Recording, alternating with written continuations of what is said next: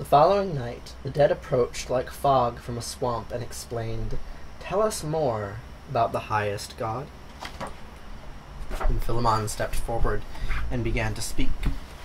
And this is the third sermon to the dead.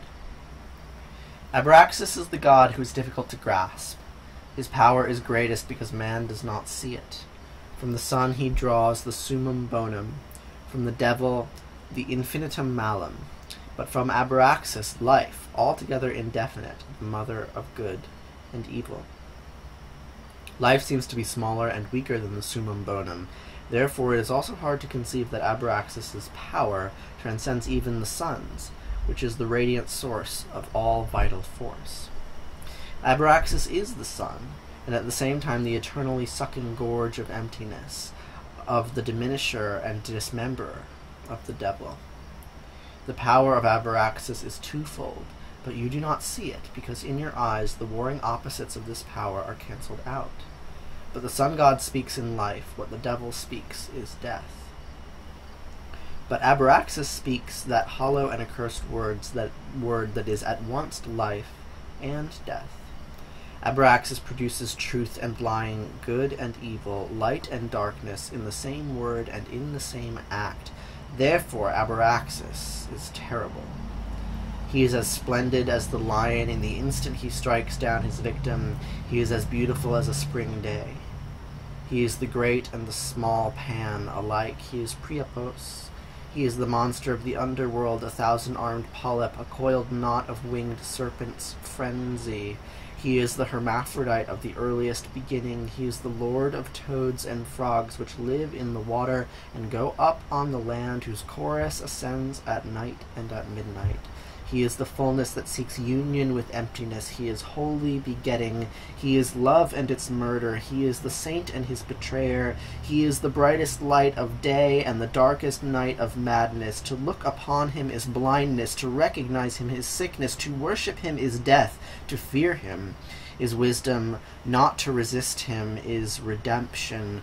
God dwells behind the sun, the devil behind the night. What God brings forth out of the light, the devil sucks into the night. But Abraxas is the world, its becoming and its passing. Upon every gift that comes from the sun god, the devil lays his curse. Everything that you request from the sun god produces a deed from the devil. Everything that you create with the sun god gives effective power to the devil. That is terrible Abraxas. He is the mightiest creative created being, and in him creation is afraid of itself. He is the manifest opposition of creation to the pleroma and its nothingness.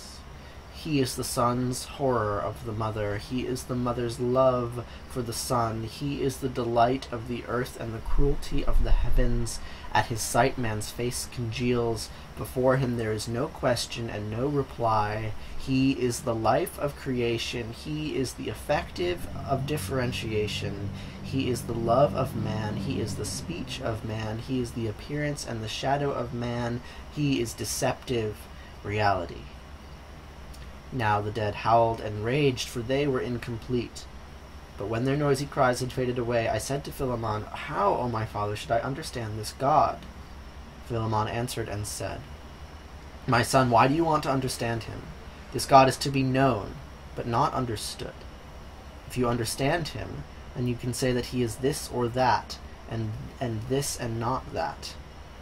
And thus you hold him in the hollow of your hand, and therefore your hand must throw him away. The God whom I know is this and that, and just as much this and that other. This other and that other. Therefore no one can understand this God, but it is possible to know him, and therefore I speak and teach him. But, I retorted, does this God not bring despair and confusion into the minds of men? To this Philemon said, These dead rejected the other the order of unity and community, since they rejected the belief in the Father in heaven who ruled with just measure. They had to reject him. Therefore I teach them the chaos that is without measure and utterly boundless, to which justice and injustice, leniency and severity, patience and anger, love and hate are nothing. For how can I teach anything other than the God whom I know and whom they know, without being conscious of him? I replied, Why, O solemn one, do you call eternally incomprehensible the cruel contradictories of nature God? Philemon said, How should I name it otherwise?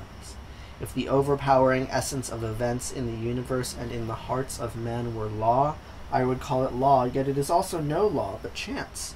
Irregularity, sin, error, stupidity, carelessness, folly, illegality, therefore I cannot call it law. You know that this must be so, and at the same time you know that it did not have to be so, and at some other time it will not be so. It is overpowering and occurs as if from eternal law, and at another time a slanting wind blows a speck of dust into the works, and this void is of a superior strength, harder than a mountain of iron. Therefore you know that the eternal law is also no law.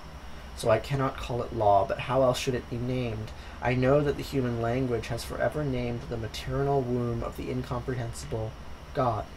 Truly, this God is and is not, since from the be- from being and non-being everything emerged that was, is, and will be. But when Philemon had spoken the last word, he touched the earth with his hand and dissolved.